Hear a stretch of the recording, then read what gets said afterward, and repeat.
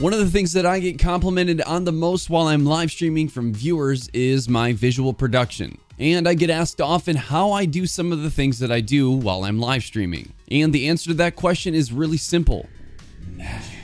Welcome back to the Streamloots YouTube channel where we talk about everything streaming and Streamloots. My name is Preacher and in today's video I'm going to share with you some of my secrets to help you increase the production quality of your stream. Now all of the things that I'm going to share with you in this video have to do with the OBS streaming software. However, most or all of them will translate into Streamlabs OBS as well. With a little bit of time and effort put into some of the things that I'll share with you in this video, it will allow you to be more creative as a creator. And more creativity is always a good thing because in the live streaming industry industry, there are literally thousands and thousands of streamers out there, and you need to be finding ways to stand out from the crowd. So, with that being said, let's get into it.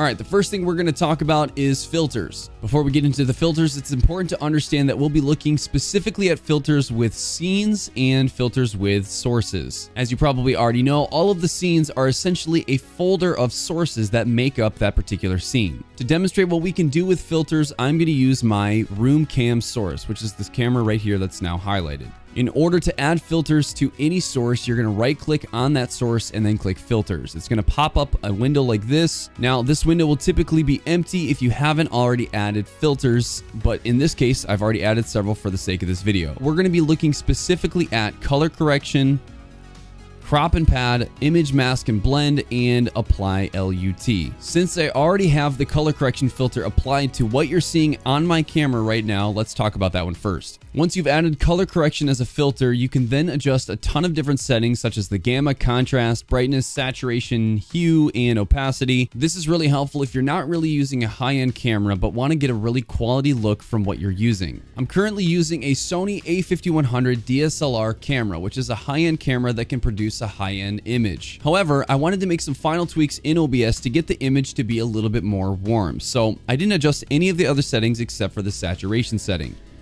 At zero, you're going to see it's going to be a more cool temperature, a little bit more gray, a little bit more blue. And then when I up this 2.5, I get a little bit more of a warmth in the image. Now, you may not have to adjust any of these settings if you have a nice camera and before adding it into OBS, you've done adjustments on that camera. But if you're using a webcam that doesn't have any settings built into it, this is a great place to go to make some adjustments to really make your webcam shine or to be creative. One of the ways that I've used the color correction filter is to create moments or emphasize emotions that I'm expressing during my live streams. In fact, I've already used one of those in this video.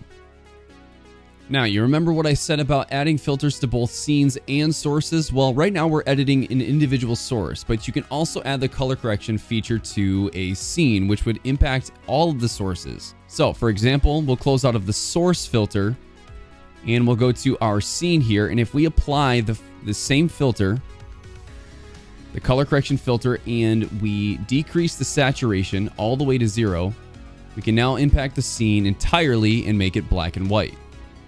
That's what you're seeing right here. All right, now let's talk about one of my personal favorite filters, the image mask and blend. Essentially, the image mask blend filter takes the source that you're using, in this case, the camera, and manipulates it with another file that you add to layer together with it. I've already added five image masks and I've renamed them as Circle, Heart, Brushed Border, Fall Guys, Jelly Bean, and Among Us. Don't worry, I'll explain in a second. They're all hidden right now so you can't see the impact of that filter, but when I unhide this particular image mask, you're gonna see what happens. As you can see, now I am a circle.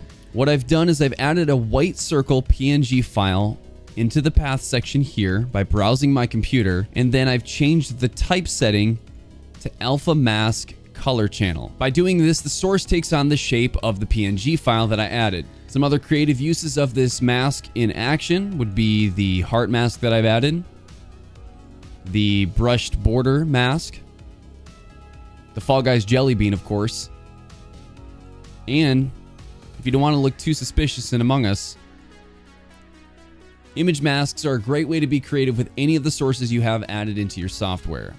Now, if you're looking for a more simple way to reshape your source, you can use the crop and pad filter. This filter edits the size of the source that you're adding the filter to by shaving a little bit off the left, the top, the right, or the bottom. For example, let's say that I wanted my camera to be more tall versus wide. Well, if I go to the settings here and I take away 600 from the left. These are in pixels, by the way.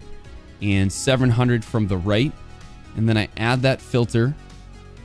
I'm going to get a more tall image from my webcam. The last filter that we're going to look at is called the Apply LUT or Lookup Table filter. You know when you're posting on social media and you have the option to add a filter to the image that you're posting?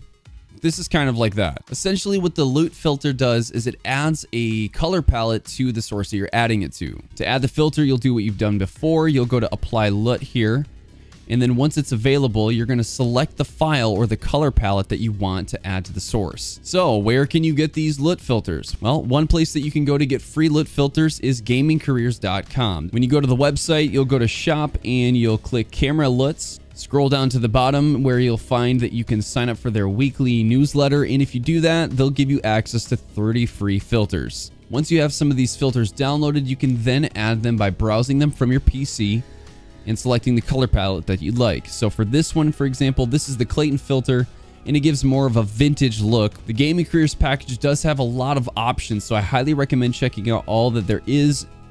For example, we have this one here. This is the Kane filter or the Brewer filter. Pretty awesome. Shout out to Gaming Careers for making these 30 LUTs available for free for all streamers out there.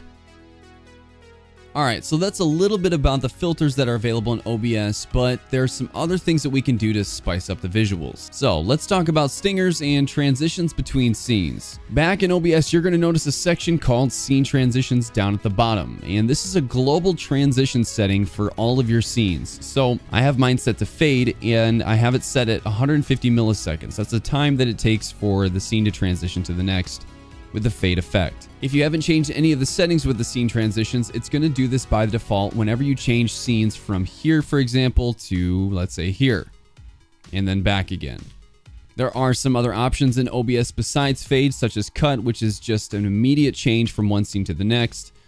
Uh, you can select a stinger, which allows you to add your own video, or you can add a fade to color or a Luma wipe. Now, remember how I said that this is a global transition? Well, you can actually change that by scene. So when you go to each of the scenes here on the left side, by right clicking, you can actually select transition override and select a different transition that you've added in as well. This means that that transition will only activate when you select that particular scene, and in every other scene will default to your global transition. This is a really fun thing to experiment with to find the transitions that are best for each of the scenes that you're using. So for example, on one of my scenes, I'm not going to do it on this one in particular, but I've added the Luma wipe. And under the Luma wipe, you can actually change what the Luma wipe does. So there's several different options. The one that I really enjoy is the cloud option. And when I put that here, I'm going to change this back to fade for my global transition. But when I go to the transition override on any scene, the Luma wipe, when I select that, will be the cloud Luma wipe. So I've added it to my gameplay scene, and you're going to see that now.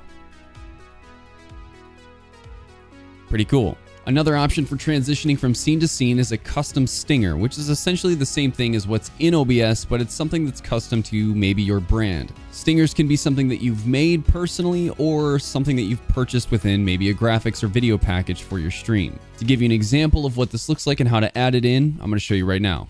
When you go under scene transitions, select stinger, click on the cog wheel here, and then go to properties you'll be able to select the file for the stinger that you have added to your PC. Once you've done this, you're going to want to click the scene that you want that stinger to activate on, and then choose Transition Override to use it only when that scene is activated. So, I've added my stinger, and this is what it looks like when I select that scene. There's some really cool things that you can do from the visual side of things to upgrade the production value of your content. With filters and transitions and using them well and tastefully, you can really provide a cool experience for your viewers. Now, we've barely scratched the surface when it comes to filters and transitions and so many of the things that you can do in OBS, but we wanted to give you at least a few tools to help you up your production value for your streams. Being creative with your content and standing out from the crowd is one of the things that we want to help you with every step of the way. That's it for this video. Thanks so much for watching. And if you did enjoy it, please let us know by giving us a thumbs up. And if you have any questions about what you saw in this video, or have comments about things that you'd like us to talk about in the future, maybe things that you've seen in other streams. We'd love to know in the comment section down below. As always, to stay up to date with all things streaming and stream Streamloots, make sure to hit that subscribe button and turn your alerts on so you don't miss out on the future content that we have coming out. Thanks again for watching, and we'll see you guys in the next video.